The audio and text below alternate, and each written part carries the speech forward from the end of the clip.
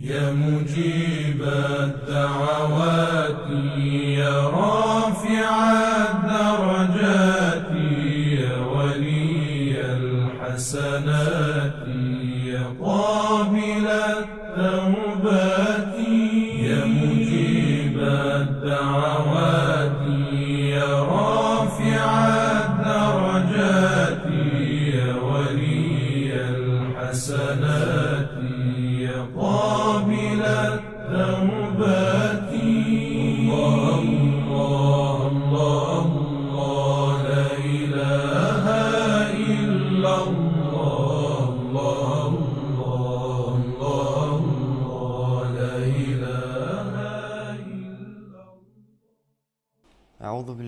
Шайтанир раджим. Бисмиллахир рахманир рахим.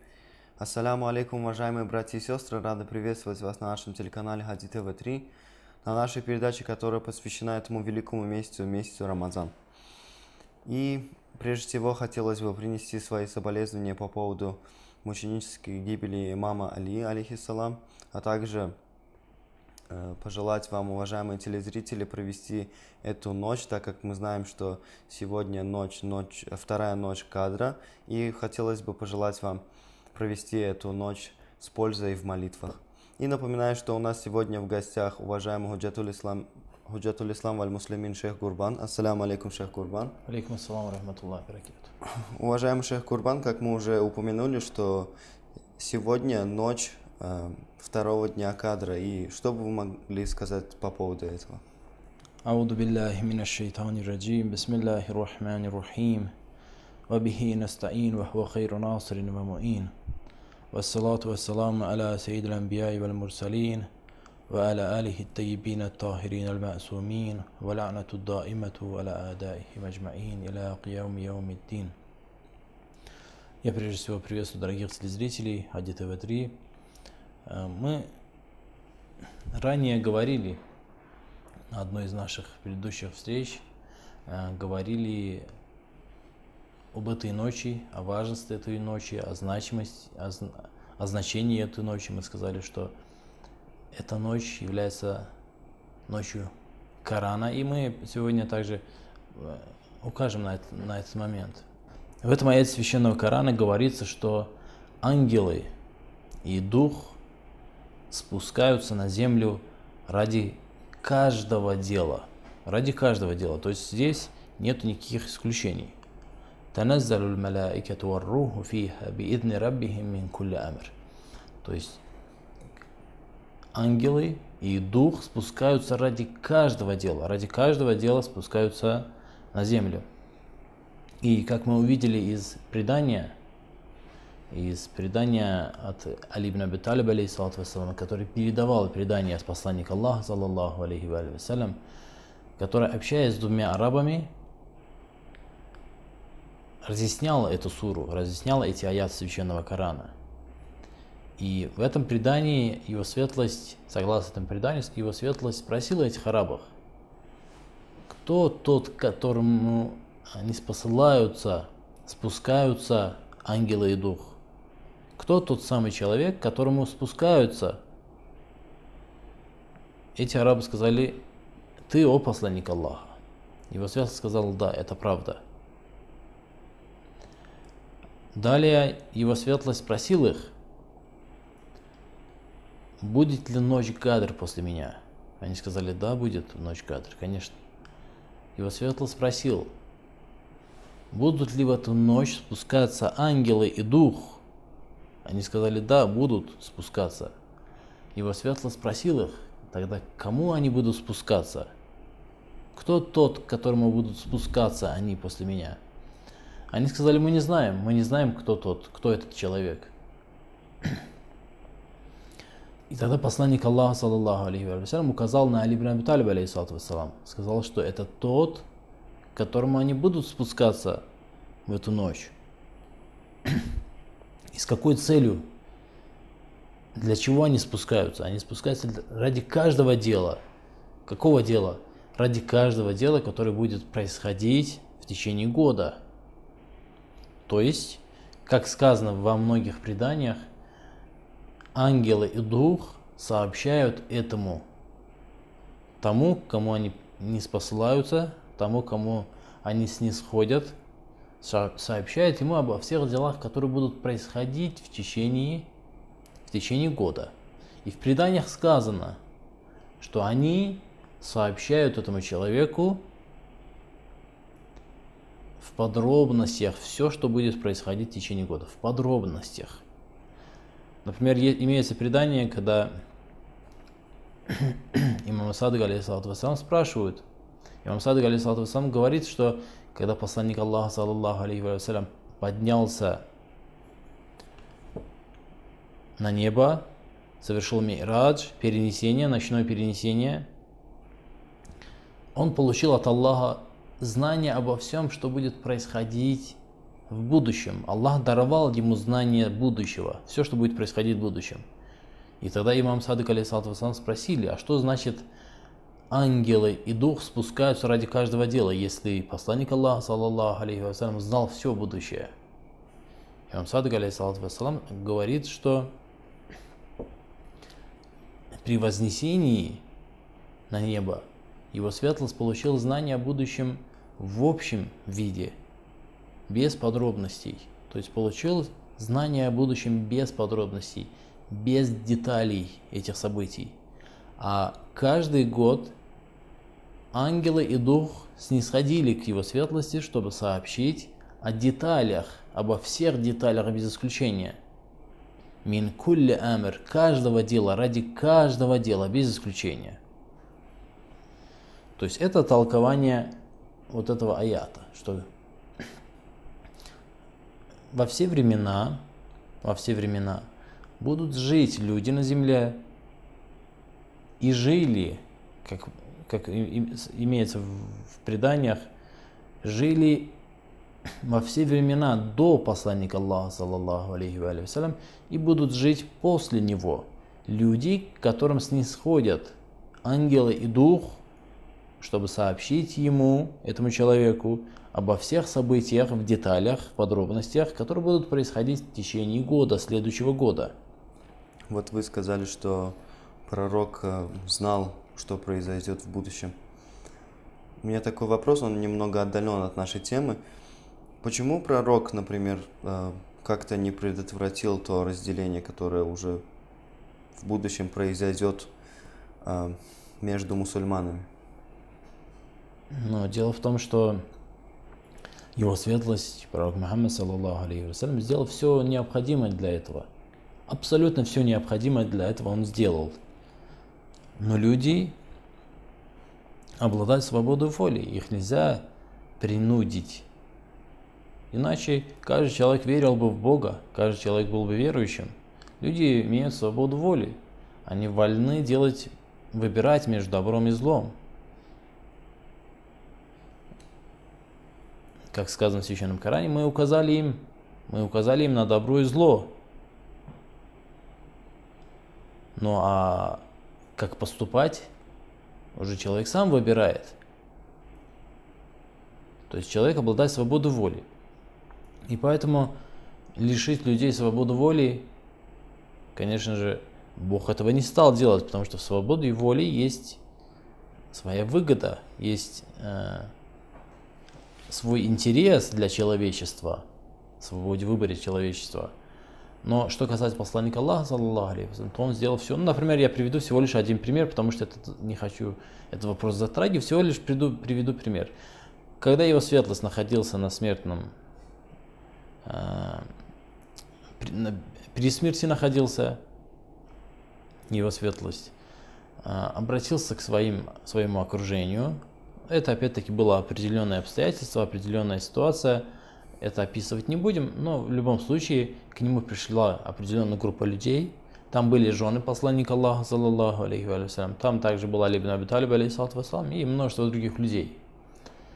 Его светлость сказал, принесите мне принадлежности для письма, чтобы я написал для вас то, после чего вы никогда не сойдете с пути, никогда не заблудитесь. Один из людей, который находился там, сказал, что посланник Аллаха, саллаллаху алейхи вассалям, науд биллах бредит. Он сказал, что он находится при смерти, что посланник Аллаха, саллаллаху алейхи вассалям, а, находится в тяжелом состоянии, что ему, а, что, что над ним одол, его одолела болезнь, что в нем говорит не здоровый человек, а говорит больной человек. Что он хотел этим сказать?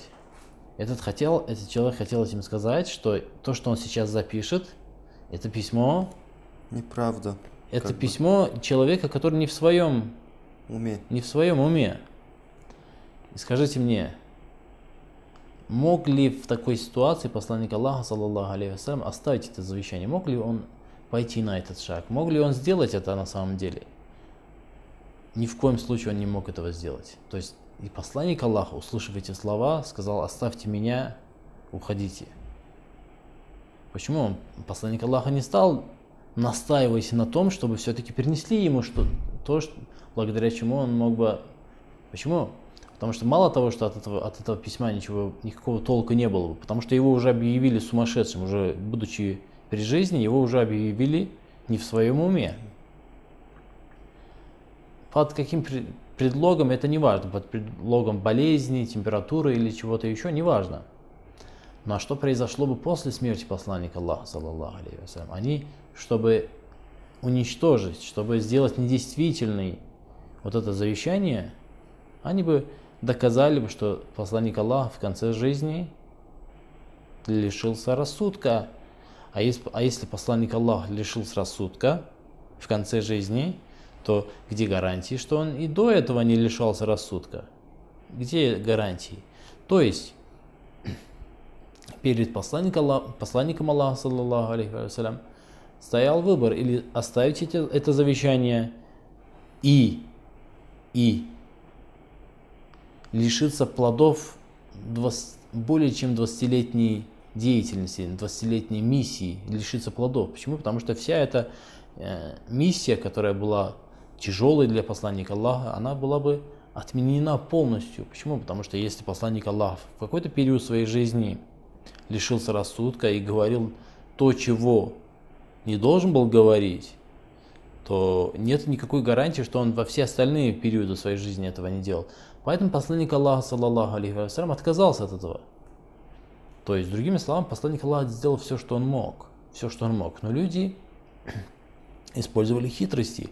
Люди использовали разные методы и приемы, чтобы воспрепятствовать всему, чтобы привести именно к тому результату, к которому они все-таки в конце концов привели. В конце концов привели к этому Ну, результату. а, я не знаю, насколько это правда, но как э, я слышал, что а, пророк все-таки оставил завещание после своей смерти. Это правда? А, Дело в том, что это, это завещание, которое его светлость посланник Аллах хотел оставить, его светлость это завещание неоднократно озвучивал на протяжении своей жизни. Речь не об этом. Речь о том, что посланник Аллах хотел письменно это за- запечатлеть. Да, его светлость произносил эти слова, говорил, что вот давал им э, тот, тот инструмент, благодаря которому они никогда не заблудятся, потому что в, достоверных преданиях сказано «Инни тарикун фикум аттакалейн, ин бих, лан тадиллу ба'ди». А, Я оставляю среди вас две ценности, придерживаясь которых вы никогда не заблудитесь. Китаб Аллахи ва итрати. Это книга Аллаха и мои потомки. Ахли бейти, люди моего дома. Мои потомки, люди моего дома. То есть две ценности. Книга Аллаха и люди дома посланника Аллаха, саллаллаху алейхи вассалям. Это посланник Аллаха произносил, это запечатлено во всех э, более или менее серьезных источниках и принято всеми мусульманами без исключения. Это завещание. Но посланник Аллаха, саллаллаху алейхи вассалям, хотел это завещание оставить в письменном виде. Почему? Потому что большинство мусульман после посланника Аллаха, саллаллаху алейхи оставили, оставили итра, ахли оставили ахли И как сказал один из э, тех присутствующих на том собрании, хасбуна китаб Аллах. Нам достаточно книга Аллаха. И они оставили только книгу Аллаха. Но как говорил, утверждал сам посланник Аллаха, саллаллаху алейхи книги Аллаха недостаточно, чтобы не заблудиться. Почему? Потому что книга Аллаха нуждается в мубайине, нуждается в толкователе, в том, кто разъяснит эти аяты. А этими, разъяс... этим разъясняющими был посланник Аллаха, саллаллаху алейхи и люди его дома. Были его итра, его потомки, люди его дома. И поэтому одного Корана недостаточно. Да, Коран содержит в себе все, что необходимо для наставления на верный путь. Но не каждый человек имеет доступ к этим наставлениям. Не каждый человек имеет настав... доступ к наставлениям священного Корана. И поэтому он нуждается в посреднике. Посреднике, который имеет доступ, коим является сам посланник Аллаха, саллаллаху алейхи и люди его дома. Большое спасибо, уважаемый шейх Курбан. Мы вынуждены прерваться на короткую паузу, после чего мы вернемся. Иншаллах. Уважаемые телезрители, не отходите от ваших телеэкранов, мы вернемся после короткой паузы. يا مجيب الدعوات يا رافع الدرجات يا ولي الحسنات يا قابل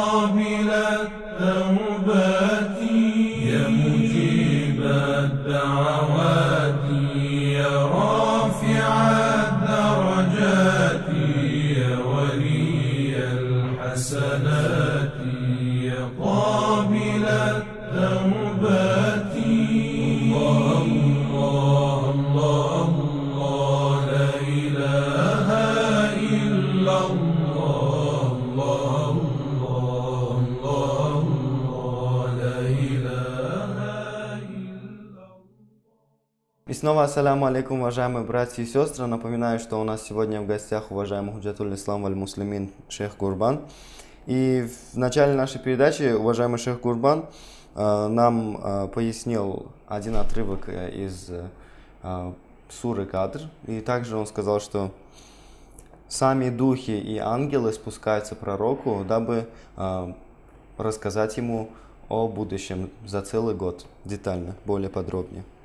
И также у нас э, зашел разговор про... э, у нас появился такой вопрос, если пророк, зная, что произойдет в будущем, почему он как бы не противостоял тому, что тому разделению, э, которое произошло в исламе. И как бы хотелось бы немного отдалиться от, э- от этой темы, уважаемый Шейх Курбан. И хотелось бы немного еще поговорить про достоинство этой великой ночи, ночи Кадр. Прошу. Да, если позволите, я э, еще, один, еще одно предание приведу. Да. От имам алейхиссалату вассалам, э, на мой взгляд, очень важное. Э, я напомнил то, что мы говорили ранее, это было напоминанием того, что было на одной из наших предыдущих, а именно, я имею в виду толкование, толкование этой суры, толкование этого аята суры Кадр. Э, Его светлость, имам Садык, алейхиссалату вассалам, сказал, он зачитал аят священного Корана, который звучит следующим образом. «Ваттаку фитнатан, ла тусибанна алладина заламу минкум хасса». Избегайте смуты, фитны. Бойтесь смуты, бойтесь фитны. Бойтесь, в Коране сказано, бойтесь фитны. Что это за фитна? Которая коснется не только залимов среди вас, не только тех, которые совершают несправедливость среди вас. То есть бойтесь, бойтесь фитны, бойтесь смуты, которая коснется всех, а не только тех, которые совершат злодеяния, а не только тех, которые со- совершат э, несправедливость. А фитна, как мы знаем, это исламское учение, это учение Корана. Фитна хуже, чем смерть, хуже, чем убийство. Смута хуже, чем убийство. То есть это страшная беда. Смута страшная беда. Итак, вот этот аят был зачитан э, имамом Садыгом, алейхиссалату вассалам, который сказал «Ваттаку фитнатан ла тусибанна алладина заламу минкум хасса фи инна анзальнаху фи лайлатил кадр» что этот аят, о чем он не спослан? Он не спослан об ая- о суре, Кадр. был, он, он не спослан о, су- о суре Кадр. Что это? Почему? Каким образом? Каким образом этот аят, ранее зачитанный и переведенный аят, каким образом этот аят не спослан Асури Кадр? А тем образом, тем образом, в чем здесь смута заключается? В чем здесь смута заключается? Смута заключается в следующем. Мы чуть ранее привели толкование суры Кадр. Разъяснили, что из себя представляет и что означает сура Кадр. И мы со слов посланника Аллаха, саллаллаху алейхи вассалям, выяснили, что ночь Кадр, оно, эта ночь не относится к какому-то определенному году. Этот, эта ночь имеется на протяжении каждого года, на протяжении всей жизни человечества и Земли, всего существования Земли. То есть всегда есть ночь Кадр. Каждый год имеется ночь Кадр. Это не какая-то ночь какого-то определенного года, нет. И также мы выяснили, также мы выяснили, что в эту ночь спускаются ангелы и дух, как сказано в Священном Коране, к определенному человеку, чтобы сообщить ему ради каждого дела. Что значит ради каждого? Мин кулли. Для того, чтобы сообщить ему детально о событиях будущего года. И вопрос, и фитна заключается в следующем. Сам Бог, сам Бог призвал бояться этой фитны. Что это за фитна? Это фитна относительно ночи Кадр. Это фитна относительно суры Кадр, как, сказал имам Садык, алейсал, фи инна анзальнаху фи лайлатил Кадр. Что это значит? Что это фитна означает? Это фитна означает, что или вы, или вы отказываетесь от, этой, от той идеи, что ночь Кадр будет продолжаться каждый год, и как следствие каждый год в эту ночь будут спускаться ангелы и дух, или вы от этого отказываетесь, от, от, от чего никто не отказывается, обратите внимание, от этого никто не отказывается, потому что это э, очевидно, что это не действительно, это неправда, это ложь. От этого не отказываются, это, мы, это оставляют. Но если вы это оставляете, если верите в то, что каждый год продолжает, Э, каждый год повторяется ночь Кадр, и в каждую эту, каждый год в эту ночь спускаются ангелы и дух, то вы должны признать, что есть тот, кому они спускаются. Мин кулямер ради каждого дела. Тот, кому спускаются, а что сделали мусульмане после посланника Аллаха, саллаллаху алейхи вассалям? Они, это есть фитна, это та фитна, которая, которой Всевышний призывает бояться в Священном Коране. Ваттаку фитна. Ваттаку фитна. Бойтесь этой фитны. Что это за фитна? Эта фитна заключается в том, это ровно та самая фитна, которая была, которая произошла после посланника Аллаха, саллаллаху алейхи когда люди оставили ночь Кадр, оставили а, убежденность в том, что в эту ночь спускаются ангелы и дух ради каждого дела, но они забыли, они отвергли отвергли того, кому они спускаются, отвергли тому, ради которого они спускаются. Они предали это забвению. Это есть фитна. Это есть величайшая фитна, которая сказалась, негативно сказалась и нанесла непоправимый урон, непоправимый удар все, всей мусульманской уме, всем мусульманам, без исключения, вне зависимости от того, были ли эти мусульмане справедливыми или не были справедливыми как сказано э, в Священном Коране, «Ла тусибанна ладина заламу минкум хасса». Это коснется не только тех, которые из вас несправедливы, это коснется всех. И возвращаясь к вашему вопросу о том, о значимости этой ночи, о достоинствах этой ночи, от Имам Садык, алейхиссалату вассалам, я приведу одно предание. Его светло сказал следующее. А, мы, конечно, это, этот смысл мы наблюдаем в Священном Коране, в аятах Священного Корана, а, подтверждение этого, этого, этого предания. И также наблюдаем подтверждение этого предания в других преданиях. Его светло сказал, «Лау руфиат, ла руфи аль Кур'ан». Если бы не было ночи Кадр, не было бы Корана. Если бы, если бы не было ночи Кадр, не было бы Корана. Почему? Вы сказали бы, ну почему? Вот, например, Коран, священный Коран был неспослан в ночь Кадр. Был неспослан в ночь Кадр. Не было бы ночи Кадр, Коран был бы неспослан в другую ночь. Мы говорим нет. Если бы не было ночи Кадр, не было бы и Корана. Почему? Потому что именно здесь, опять-таки, эти слова, конечно же, имеют, э, как и все откровение, все откровение от начала до конца, так как слова посланника Аллаха, саллаллаху алейхи и его наместников, непорочных имамов и халифов, их слова, они являются откровением. В каком значении? В том значении, что они взяты, их источником является откровение. Они берут свои знания из откровения и разъясняют это откровение благодаря своему глубокому пониманию, глубочайшему пониманию, благодаря этому они имеют доступ ко всем уровням знаний, ко всем уровням понимания откровения и могут доставать оттуда знания, которые обычному человеку недоступны.